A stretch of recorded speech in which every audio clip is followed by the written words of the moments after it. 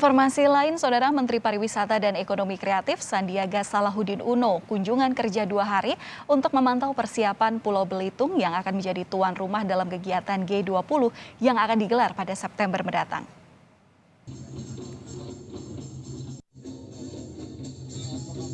Menteri Pariwisata Ekonomi Kreatif Sandiaga Uno mengunjungi Pulau Belitung, Provinsi Kepulauan Bangka Belitung, Sabtu siang.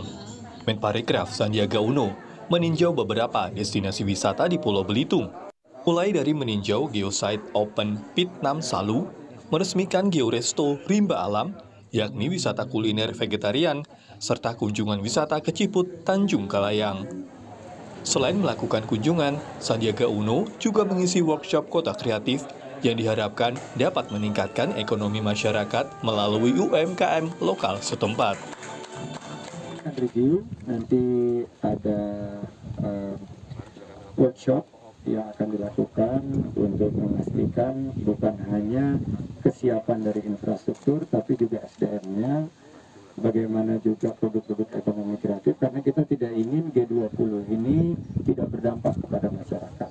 Masyarakat harus merasakan karena sudah dua tahun dengan pariwisata tertekan kontraksi uh, banyak masyarakat kehilangan pekerjaan, penghasilannya menurun. Oleh karena itu kita memetakan kebangkitan ekonomi yang terpicu oleh G20 ini bisa dirasakan secara berkeadilan oleh seluruh masyarakat. Kunjungan Menparekraf ini untuk mempromosikan wisata alam yang dimiliki Pulau Belitung.